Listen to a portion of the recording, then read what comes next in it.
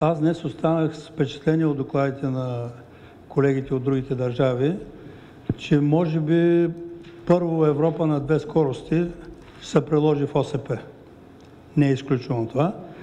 И ако ние не направим една много сериозна дискусия и силно влияние на браншовите организации, ми се струва, че ще останем и на задна скорост. Така че потребността е много голяма. Що се отнася до ОСП, на мен силно впечатление ми направи 2027. Много силно впечатление ми направи изказването на холандците. Мисленето е друго и приоритетите им са коренно различни.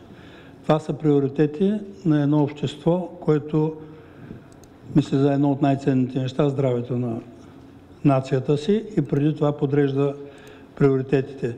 Така че ако според мен, според мен нашата позиция на България в ОСП трябва или да направим един много по-смел скок и да отидем към тези четири приоритета, които те